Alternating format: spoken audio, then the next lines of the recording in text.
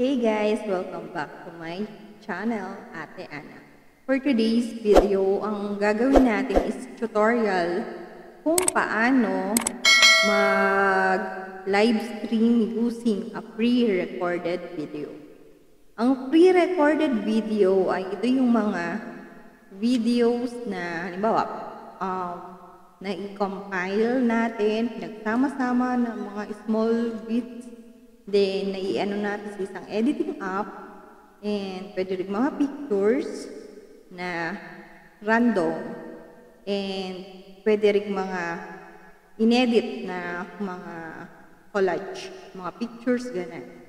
And, itong pre-recorded video na to, ito yung magpe-play habang nag-LS. Kaya, kumbaga, pwedeng hindi na magpakita yung mismong tao kung nahihiya kang magpakita sa mismong LS mo. Mag-intro muna tayo.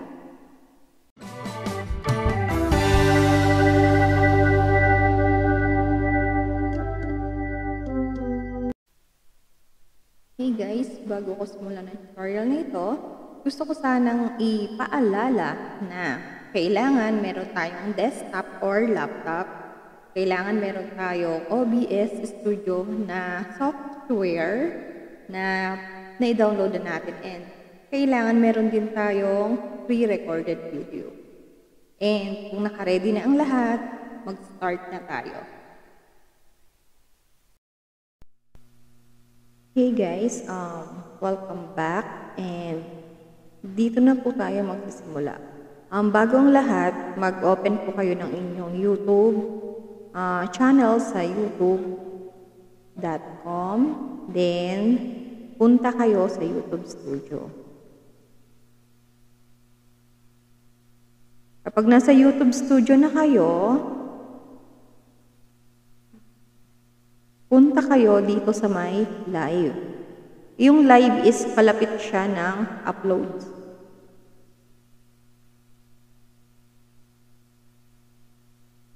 Ayan guys.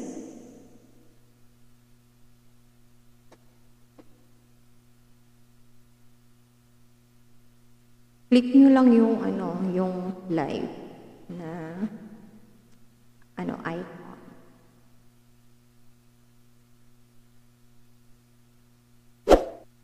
Um, guys, na pala tong ganitong klase ng um, live stream is magagamit nyo talaga ng bonggang-bongga, lalo na, kay, lalo na at kung kayo ay nagnanais na magkaroon ng watch hour and kung sakaling halimbawa medyo shy, naku nga kung alam ko nga lang to, hindi sana ganito ginawa ko noon pa. Pero sa pag um, pag tingin-tingin ko sa kapwa ko YouTuber, sabi ko, talagang noon pa lang, amazed na amazed na ako. Sabi ko, paano ba nila ito ginagawa? So, ganito pala yun. Sana nalaman ko okay guys, habang inaantay natin lumabas ang YouTube uh, studio na live stream. Ayan.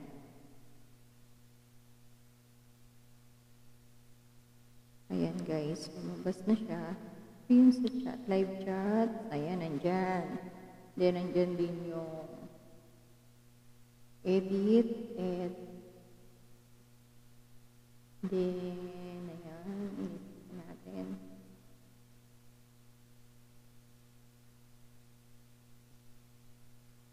Ito yung unlisted. Dito maano unlisted, public, or private.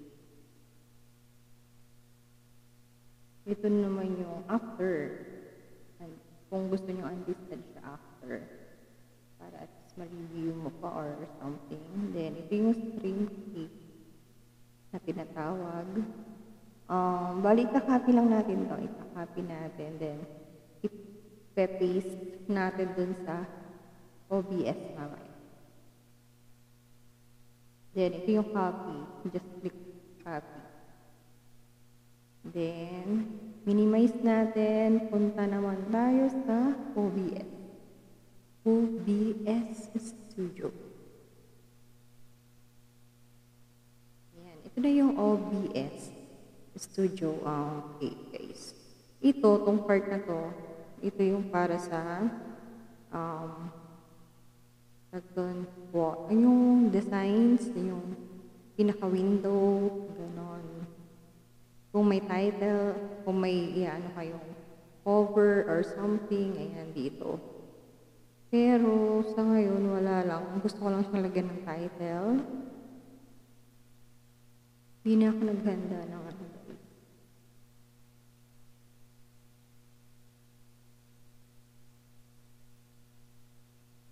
Ayan yung Then, ito naman yung source. Dito natin yung ano yung audio, yung pictures, then media source. Yung media source, bali dito natin, iya, ano yung pre-recorded video natin. So, tatitle ko lang siya ng pre-recorded video. Then, okay. Then, browse. Doon nyo lang ilagay sa ano, yung pinakamadali nyo mahanap. Ako sa desktop, then, ayan. Then, click nyo yung loop. Don't forget. Ayan, tada! Iyan na yung makikita sa LS. After nito,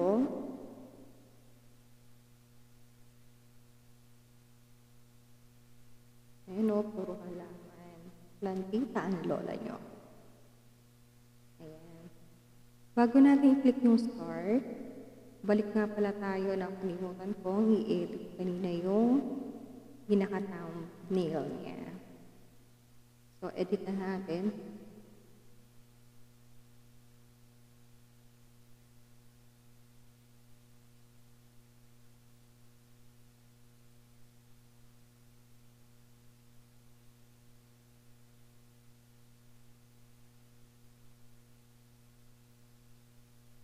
Ayaw umuna ng edit. Ayaw. Ayan. Edit na natin yung thumbnail. Um, may bale, may nakahanda na ako. Thumbnail para dito. Sa tutorial na ito. And then, hanap-hanap sa downloads.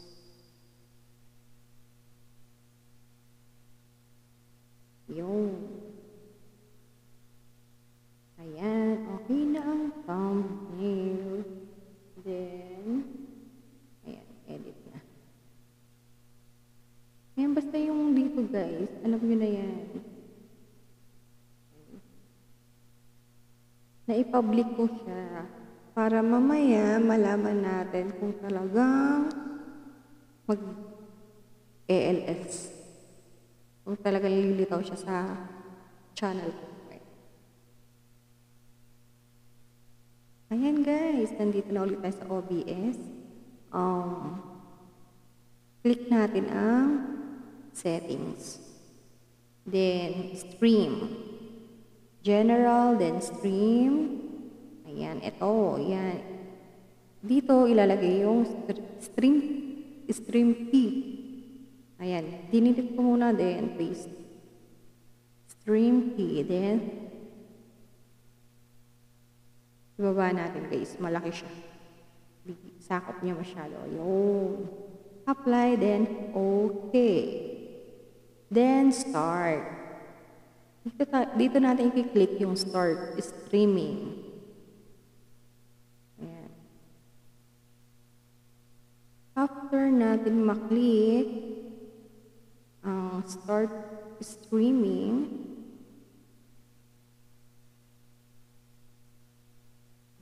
i-enjoy muna. Yan, balik tayo sa YouTube Studio. Then, antayin naman natin mag-effect dito. And, ayan na, loading na. Hina ng net, guys. Yan. It means, okay na siya. And, guys, maraming nag-comment, so it means, mara, ano siya, um, nag-effect siya sa channel. So that's it. And always remember kung saan kayo nag-start, doon din kayo mag-end. So, end na natin here. Ayan. I-end na natin. Then makikita natin dun sa ano is mag-stop na siya.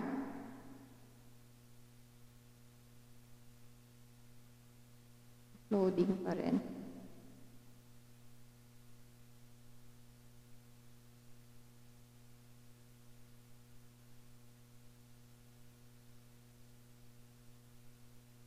Loading.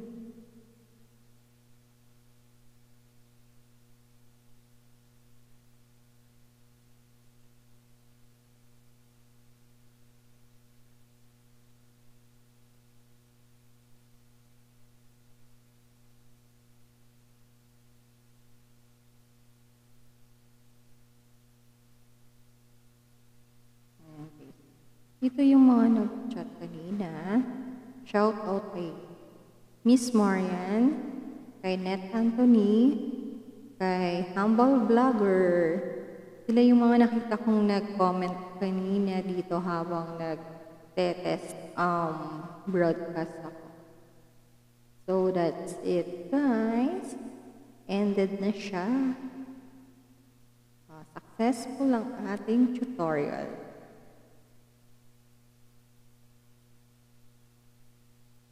Hopefully guys, um, naintindihan nyo ang ating munting tutorial and sana makatulong po. Okay, punta tayo sa ating YouTube studio. Um, check natin dun sa ah, list ng uploaded na videos under sa live.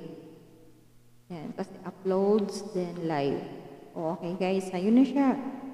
Naka-listed na siya, pero unlisted yung status niya. Naka-ano na siya, naka-post, pero unlisted. Kasi, hindi naman siya talaga regular live stream. Okay guys. For more questions, just in case, um, if kaya kong sagutin is, I will answer it po. Then if not, uh, mag, mag ano tayo ng research, thorough research regarding sa mga questions nyo. Then, ayan, mag-sign out na tayo guys. Dito na nag-end ang ating tutorial.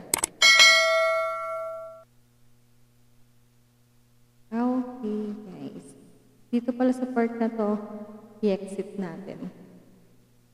Ayan.